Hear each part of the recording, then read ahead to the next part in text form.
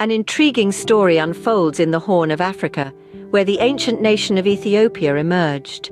A land steeped in legend, its history traces back over 3,000 years.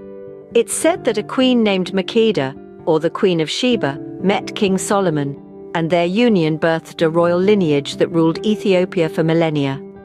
Fast forward to the 1st century AD, the Aksumite Empire rose, marking Ethiopia's first great power era.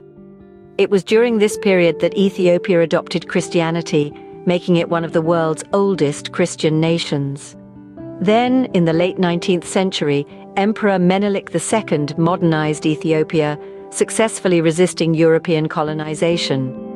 Today, Ethiopia stands proud, a testament to its rich history and enduring spirit.